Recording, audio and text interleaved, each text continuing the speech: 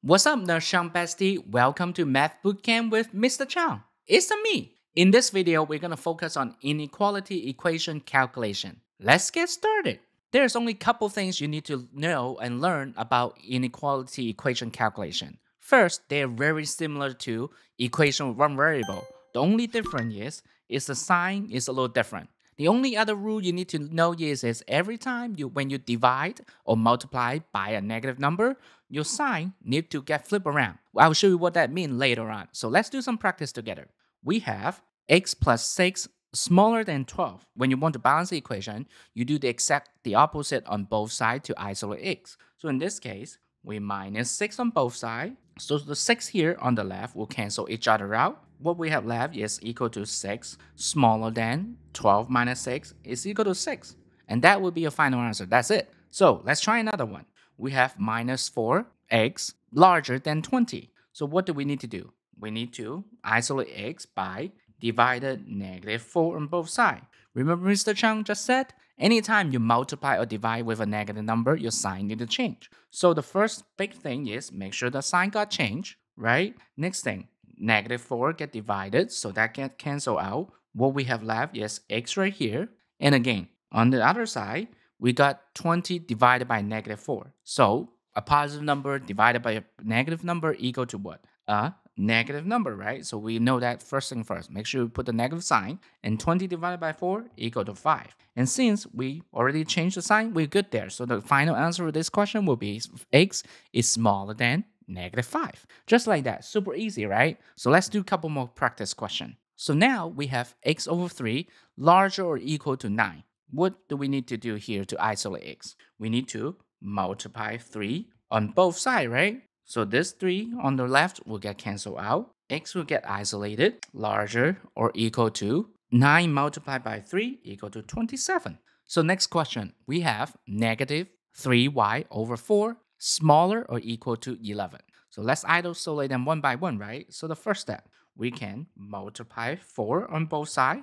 So the 4 as a denominator will get canceled out. What we have left? Negative 3y is smaller or equal to 11 multiplied by 4 equal to 44. Okay, so now the next step, right? We need to divide negative 3 on both sides so we can isolate the y. And since we divide with a negative number, right? Make sure we flip that sign first. And then the y will get isolated. On the other side will be 44 divided by negative 3. And that's not the final answer, right? We know that this is an improper fraction. We need them to be a mixed fraction to be the most simplest form as answer. So how do we do that? We put 44 in the middle of the divide, 3 on the outside. So let's divide them, right?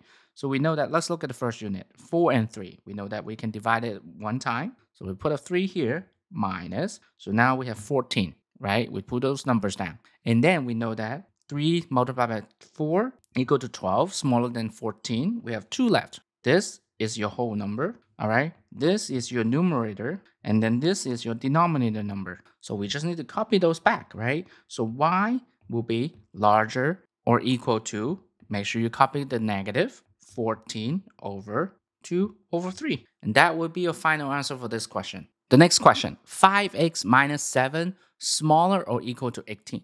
So the first step, right? We need to do the opposite on anything that is not connected to the x. So we have minus 7, so we know that we need to plus 7 on both sides. So we what we have left? We got 5x left, smaller or equal to 18 plus 7 equal to 25. Next step, right? Isolate the x. So we know that we can divide a 5 on both sides. We have is x is smaller or equal to 5. Let's try the next one. 7 minus 2x bigger than 1. So what do we do? We know that we can minus 7 on both sides. So we will have minus 2x larger than 1 minus 7 equal to minus 6. All right. So now let's isolate the x, right? We can divide it by negative 2 on both sides, right? So the first thing, make sure every time you write down divided by a negative number or multiply by a negative number, flip the sign first so you don't forget, right? So now let's isolate them, right? Divided two, minus 2 on the left, so they will cancel each other out. We left with x. So minus 6 divided by minus 2. Negative rule, right? Two negative number multiply or divide together, it become what? A positive number. So let's write the sign up so we don't forget or we don't get confused. So the last one, last step, right? 6 divided by 2 is equal to 3. So your final answer is just x is smaller than 3. Next question. We have 3x plus 8 larger or equal to 2x minus 5. First thing, we can minus 8 on both sides. So what we have left? We got 3x larger or equal to 2x minus 5 minus 8 equal to minus 13. Next up, we have what? We can minus 2x on both sides. So we're moving the x, right, all together. So we will have 3x minus 2x equal to 1x larger or equal to minus 13. And since 1x is just equal to 1, we know that the final answer is just x is larger or equal to negative 13. Nothing changed. Let's try another one. x minus 4 over 5 larger than 2. So what do we do first? We can, since we know that this is over 5, it's just equal to divided by 5, we can multiply 5 on both sides. We will have x minus 4 on one side, larger than, and then what? 2 multiplied by 5 equal to 10, right? We already seen the last step. We can plus 4 on both sides, right? So what we have left? x is larger than 14, just like that. So on inequality equation calculation, not only we need to know how to do the calculation part, we also need to set it up as a word problems. So here's a word problems example. A store must sell at least $1,500 worth of goods each week to break even. If each item sell for $75, how many items must they sell per week? So we know that first thing, right? The store must sell at least. What does at least mean? At least mean on the keyword at least is bigger or equal to this right here, this sign is equal to at least, okay? And what we have, it got to be more than, right? $1,500. So now when each item, the item that we need to find, let's put that as X, right? And then we know that every item we got is $75. So the equation we set up as 75x got to be larger or equal to, break even, right? Larger or equal to $1,500 right? So now, once this equation set up, all we need to do is a little handy dandy calculation, right? So isolate x, how do we do that? We divide 75 on both sides. What we have is x got isolated, got to be larger or equal to 1,500 divided by 75 is equal to 20. So x got to be more than or equal to 20 items per week for them to break even. Let's try another practice question. Let's see how they set up. On this question, a rideshare driver need to earn more than 800 per week. If they charge $40 per trip, how many trips must they complete weekly? So now this time, all we have is more than, right? What is the more than sign looks like? More than sign is just that. Don't have the equal sign underneath. So this sign is more than. And what we need to do more than? More than 800. So we know that the 800 will be on the smaller end on the side. We got X amount of trip, and we know that each trip is $40.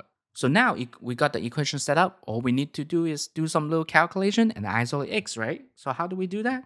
We can divide 40 on both sides. We have x is more than 800 divided 40 equal to 20 again. So we know that the driver must do more than 20 trip for them to make more than $800.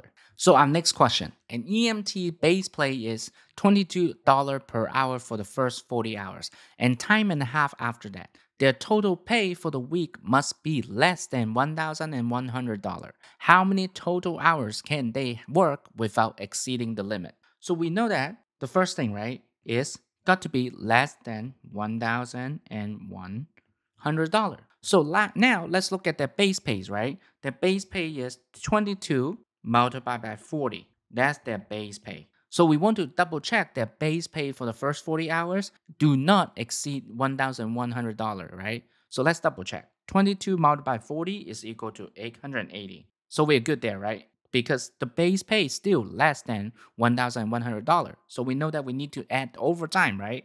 The time and a half part. So we know that the equation will get added, right? What is time and a half? So 22 time and a half, we know that that is 1.5 and multiply by what? How many hours, right? So we know that we need to have x right there. So let's do it step by step, right? 22 multiplied by 1.5 is equal to 33x, right? So we know that that need to be added with the base pay, still need to be less than $1,100. So now we got this equation set up. We just need some basic calculation, right? So first thing, we can minus 880 on both sides. So we have 33x need to be smaller than 1100 minus 880 is equal to 220. Then isolate x, right? So we can divide the 33 on both sides. So we have left, yes, x need to be smaller. 220 divided by 33 is equal to 6.666. Let's round it up to 7. Because technically it's 6 infinity, so we round it up on the thousands unit.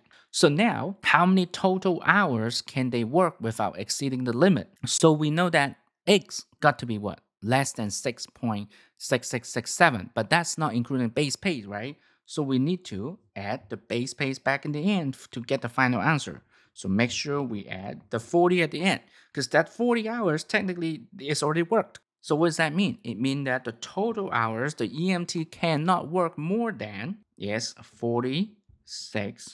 46.6667 hours or depends on how the answer key you know wants you to round up or round down. And here is the final cheat sheet for inequality and inequality calculation. So all these right here is the keyword that you need to know to identify what kind of sign you need to be using on your equation. And the last thing you need to know is every time you multiply or divide by a negative number, you need to flip the inequality sign. Okay? And that's everything you need to know when it's come to inequality equation calculation. And as always, if you have any other question, make sure to leave it down below. We love answering your questions. Head over to nursecheungstore.com where there's a tons of additional resources to help you feel more confident with your ATI TEAS exam.